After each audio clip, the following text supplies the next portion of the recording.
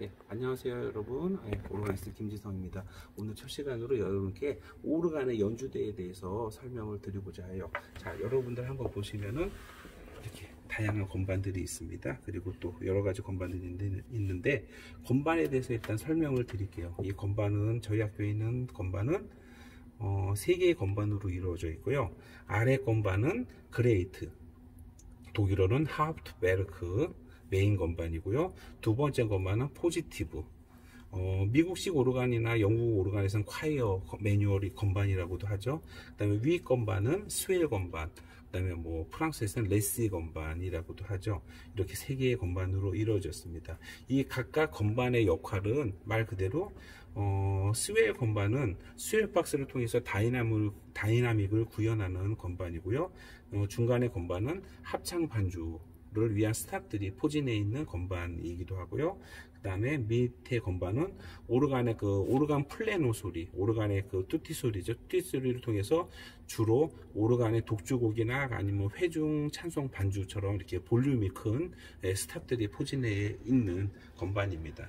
어, 이 매뉴얼 손건반에 있는 manual들은요 주로 일반적으로 어, 연주용 규격으로는 5옥타브. 그래서 파이프가 도에서부터 해서 5옥타브로 이루어져서 총 61건반이 일반적인 규격이고요. 그 다음 페달 역시 2옥타브 반.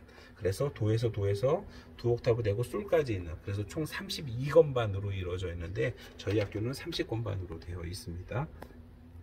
그리고 양쪽에 보시면은 지금 예, 검은 단추들이 보이죠? 이 검은 단추들을 음색 그 다음에 단추 또는 소리 단추 그 다음에 영어로는 뭐 stop 아니면 독일어에서는 Register라고 하는데요. 이것들은 각각 이름에 있는 고유한 음색들을 나타냅니다. 그래서 이 음색을 어떻게 배합하느냐에 따라서 다양한 오르간의 그런 음색들을 표현할 수 있, 있습니다.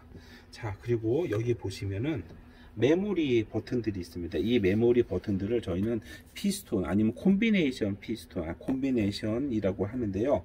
자, 음색을 저기 본인이 어, 오르가니스트가 음색을 정해서 이 stop을 갖다가 제가 한번 예를 들어 볼게요. 자기가 원하는 음색을 예, 뽑습니다. 뽑고 제가 어떻게 메모리를 하냐면은 보통 일반적으로 오르간의 제일 왼쪽에 있는 버튼이 예, 메모리의 예, 시작 버튼입니다. 그래서 메모리를 누른 상태에서 자기가 저장하고 싶은 번호의 번호를 누르면 저장이 되는 겁니다. 물론 예, 건반을 메모리 피스톤을 뜰 때는 같이 띄어야겠죠. 그리고 cancel을 할 때는 일반적으로 어, 오르간 건반의 오른쪽에 있는 버튼인데요. C 또는 0으로 써 있거나 아니면 0으로 cancel이라고 써 있습니다. 이 버튼 누르면 메모리가 취소됩니다. 그래서 메모리 했던 거를 다시 한번 누르면은 좀 전에 제가 메모리 했던 stop이 나오게 되죠. 이걸 갖다 combination piston이라고 그러고요. 이것들은 지금 어, 손으로 연주를 하면서 누를 수도 있고요. 또는 손이 연주를 하면서 바쁠 때는 페달로 발로 눌러서 발로 네, 눌러서 네, 똑같이 손으로 눌렀던 이 예, 피스톤 역할을 그대로 하게 됩니다. 그래서 이 발 피스톤을 foot piston이라고 하고요. 여기는 손 피스톤, combination piston이라고 합니다. 그리고 또 설명을 드릴 거는 여기는 swell box입니다. swell box는 어, swell 건반에 있는 예, swell 건반에 있는 여기 있는 stop들을 어, 일정한 방 안에다 넣어놨습니다. 그래서 방 앞에다가 문을 만들어 놓고요. 문을 열고 닫게 하는 겁니다. 그래서 swell box를 저희가 발로 오르간스가 조절을 해서 박스를 열면 문이 열려서 방 안에 있는 파이프들이 소리를 나와서 크게 들리는 역할이고요. 박스를 닫게 되면은 문이 닫혀서 방 안에 있는 소리들이 더 이상 예, 방문에 갇혀서 소리가 작게 들리는 역할로 한 이렇게 dynamic을 표현한 방인데요. 제가 한번 stop을 예, 넣고 박스를 열고 닫아서 여러분들께 한번 그 차이를 들려드릴게요. 일단은 방문을 닫은 상 지금 닫은 상태죠? 닫은 상태에서 네, 들려드리면서 박스를 발로 조절했을 때 어떻게 음량이 변하는지 보여드릴게요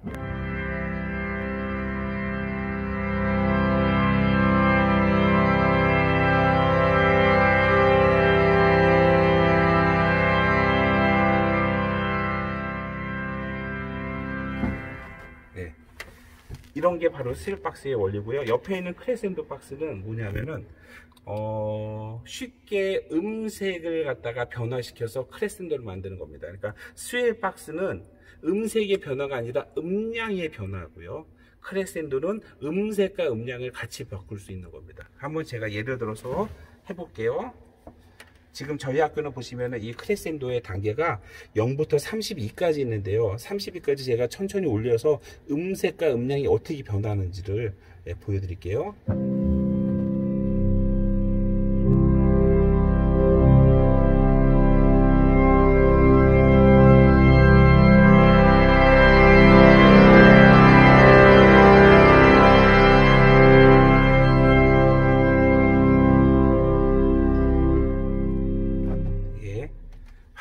원리가 크레센도입니다.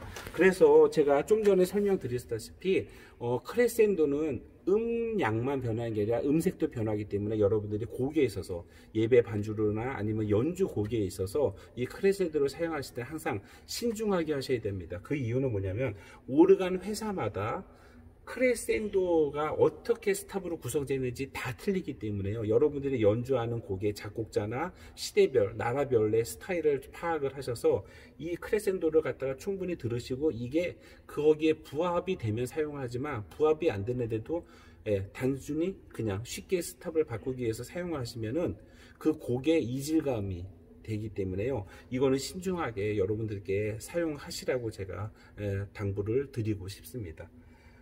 그리고 마지막으로 여러분들께 설명을 드릴 거는 오르간에 보시면 이렇게 등이 있죠. 악보 등이 있고 그 다음에 뭐 어, 예를 들어서 성가대 지휘자를 볼 수 있게 이렇게 거울을 옵션으로 단다든지 그 다음에 연주 의자를 보시면은 의자에 이렇게 예, 높이를 예, 돌려서 높이를 의자 높이를 조절하게 할 수 있는 거.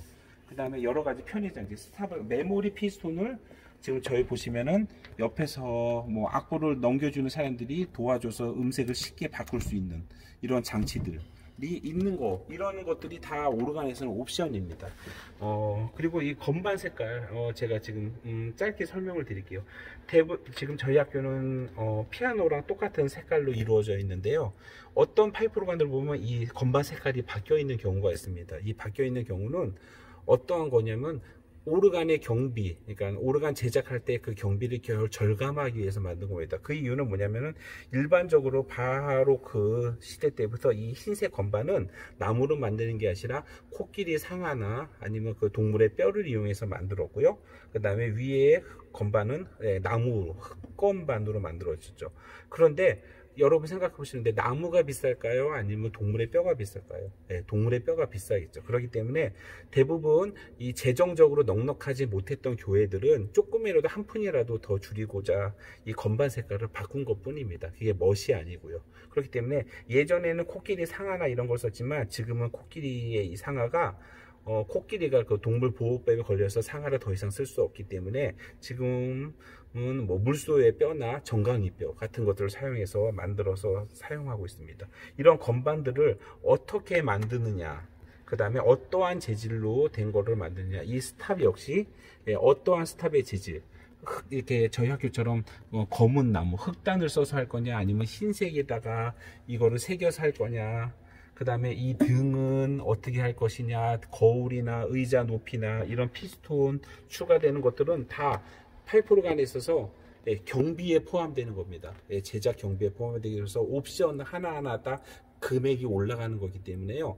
여러분들이 이것들을 예, 추가가 되고 연주 본인들이 앞으로 교회 파이프로간을 설치할 때 이러한 예, 장치들이 편의 장치들이 있느냐에 따라서 예, 여러분들이 가격대가 형성이 되는 거니까 여러분들이 앞으로 이것들을 잘 생각해서 오로 8%간을 제작 어, 그러니까 어, 8%간을 설치하게 되실 때 조언들을 해주시면 좋을 거라고 생각합니다. 그럼 저는 다음 시간 때에 다음 시간에 여러분 다시 뵙겠습니다. 안녕히 계세요.